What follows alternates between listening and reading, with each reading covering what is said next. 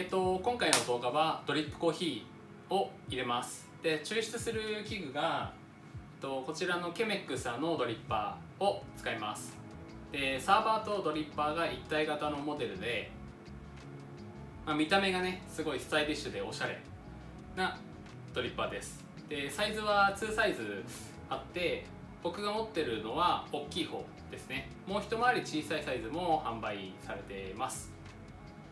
まあ、他のメーカーさんと比べると少し値段がちょっと高いですけど、まあ、見た目がすごい可愛いんで人気はあります。でえっ、とまあこの抽出口というか、まあ、サーバーとドリッパーがつながってる部分の口が広いんで、まあ、ホットを普通に抽出してもいいですし直接氷を入れてアイスコーヒーにしてもらっても大丈夫です。でまあこのドリッパー、まあ、見た目がすごいねスタイリッシュなんですけど歴史自体は結構古くて1940年頃から販売はされています。ぐらいかな、まあ、あと注意する点はフィルターは専用のものがえーと、とあるのでそちらを使ってほしいのとコーヒーの引き目ですよね、えー、コーヒーの引き目が、えっとまあ、通常はドリップコーヒー入れる時は、まあ、一般に中引きっていう引き目の粉を使うんですけどケメックスの場合はあの抽出スピードがゆっくりめっていうのもあって少し粗めがいいかなと思います、まあ、中引きより少し粗め、まあ、中粗引きが、えー、おすすめかなと思います、まあ、もちろんお好みで変えてもらってもいいんですけどベースはそれを基準に考えていただければいいかなと思います。じゃあまあ早速入れていきましょう。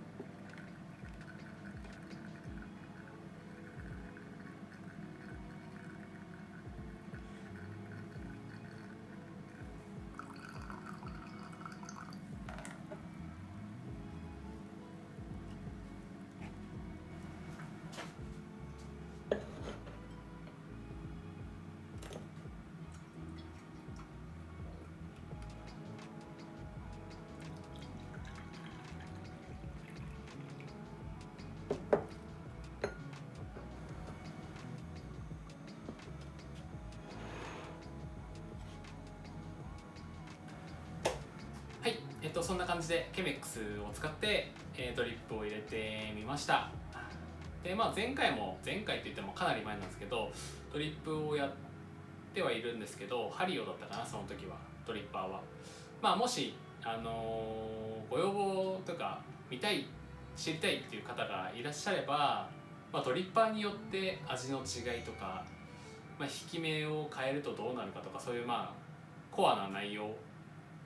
でまあ動画を作ってもいいのかなとは思ってるんですけどまあ要望があればですかね、まあ、そんな感じで今回は以上です。次回もまた何かやるんでえ次回もよろしかったら見ていただければなと思います。では次回の動画で